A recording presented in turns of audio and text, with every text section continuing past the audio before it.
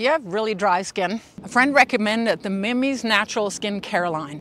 I've had no issues ever since I moved to Colorado where it's really dry and ice cold in the winter and my skin really didn't like that. With the body butter here, all I'm doing is to put a little bit on my hands at night, a couple of drops of water.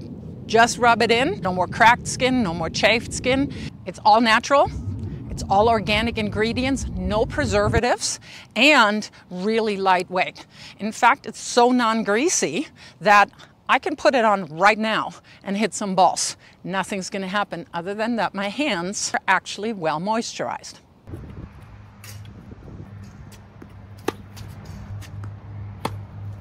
Let's stay smooth.